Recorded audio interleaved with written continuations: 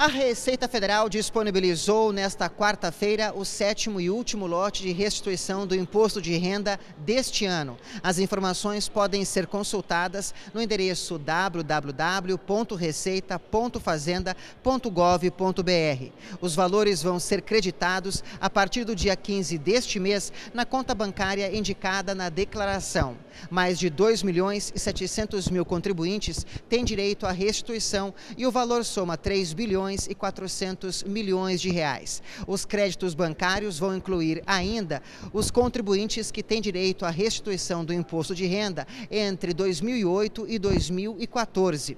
A Receita Federal também informou que mais de 617 mil contribuintes caíram na malha fina. Eles também podem consultar o que ocorreu com suas contribuições no site da Receita Federal na internet.